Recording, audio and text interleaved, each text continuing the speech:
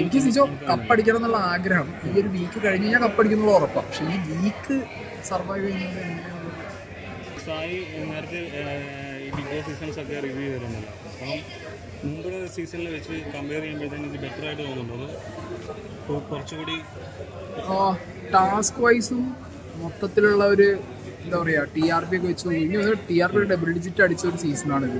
ഭയങ്കര grand success ആണ് ഈ സീസൺ സോ ടാസ്ക് വൈസ് ആണെന്നുണ്ടെങ്കിൽ നമ്മളൊന്നും എക്സ്പെക്ട് ചെയ്ത ടാസ്ക് ഒന്നും ഇപ്പോൾ പുറത്തുനിന്ന് കാണുന്ന ആളുകൾക്ക് വളരെ സിമ്പിളായിട്ട് തോന്നുന്ന ടാസ്കുകളായിരിക്കും പക്ഷെ നമുക്കത് ഭയങ്കര ടാസ്കുകളായിരിക്കും നമ്മൾ സിമ്പിളായി കാണുമ്പോഴത്തേക്കും നമുക്ക് ചെയ്യാൻ തന്നെ നമുക്ക് ഭയങ്കര സീനായിരുന്നു പല ടാസ്കുകളും പിന്നെ കമ്പാരിറ്റീവ്ലി ഒരു കുറച്ചും കൂടി ഞാൻ നോക്കുമ്പോൾ ഫുഡിനൊക്കെ കുറച്ചും കൂടി ഒരു ലക്ഷറി പവർ റൂമുകളുണ്ട് ലക്ഷറി ഫുഡ് ഉണ്ടായിരുന്നു.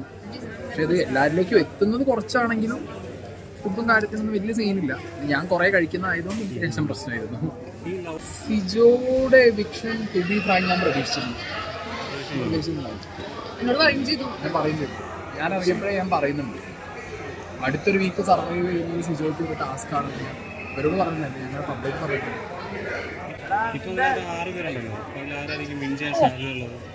എല്ലാവർക്കും ഒരു ഈക്വൽ ചാൻസ് ഞാൻ കാണുന്നുണ്ട്. അങ്ങനെ ഇന്ന ആളെന്നൊന്നും നമുക്ക് പറയാൻ പറ്റില്ല. അൺസർട്ടൻ ആണ് ഈ ഒരു സീസൺ എന്തും സംഭവിക്കാം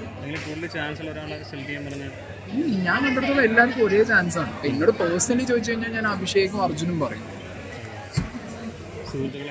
ആ ഫ്രണ്ട്സ് ആയതുകൊണ്ടോ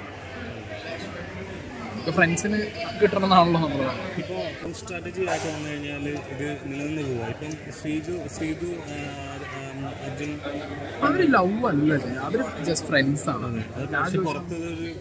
പുറത്തുള്ളവർക്ക് പല രീതിയിലും അത് ബിഗ് ബോസ് തന്നെ അങ്ങനെ വളച്ചൊടിക്കാൻ ശ്രമിക്കുന്നതായിട്ട് തോന്നുന്നുണ്ടോ ഒരു പ്രണയമാക്കി മാറ്റാനായിട്ടത് തോന്നിയിട്ടില്ല. കാരണം ഒരു വിഷ്വൽ ഒരു ഡാൻസിന്റെ വിഷ്വൽ പുറത്തു വന്നു ഇതേക്ക് അത് പ്രണയമാക്കിയിട്ട് അവർ അല്ലെങ്കിൽ അവർ ടൈറ്റിലിട്ട് കൊടുക്കണം. ഇവർ തമ്മിൽ പ്രണയത്തിൽ അങ്ങനെയൊന്നും കൊടുത്തിട്ടില്ലല്ലോ. അവർ തമ്മിലുള്ള കെമിസ്ട്രി വർക്ക്ഔട്ട് ആവുന്നുണ്ടല്ലേ? ശ്രീജു അവിടെ നിന്ന് തോന്നുന്നത്.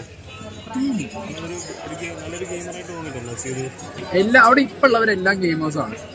ഈ പറഞ്ഞ കോംബോസ് ചിലപ്പോൾ അവരുടെ ഗെയിമിന്റെ ഭാഗമായിട്ടും ആയിരിക്കും. അതിനൊരു തെറ്റ് നമുക്ക് പറയാൻ പറ്റില്ല. കാരണം ഈ സീസണിൽ കോംബോകൾ പാടില്ല എന്നൊന്നുമില്ലല്ലോ ഇഷ്ടമുള്ള കോംബോ പിടിക്കാൻ പറ്റും. അത് അവരുടെ ഐഡിയക്ക് അവർക്ക് ചെയ്യാൻ പറ്റും. പിന്നെ അതിന് എന്ത് മീനിങ് ഡെഫിനേഷൻ കൊടുക്കണം എന്നുള്ളതൊക്കെ പുറത്ത് മീഡിയാസും നമ്മൾ കാണുന്നവർ തീരുമാനിക്കുന്നതാണ്. അവരുടെ പെർസ്പെക്റ്റീവിൽ അവർക്ക് എന്തും പറയും. ഞാൻ അതിനകത്തുനിന്ന് കളി കണ്ട ഒരാൾക്ക് എനിക്കത് എന്താ പറയുക അവർ ഫ്രണ്ട്സ് എന്നുള്ളതിനപ്പുറം 伸びしてる。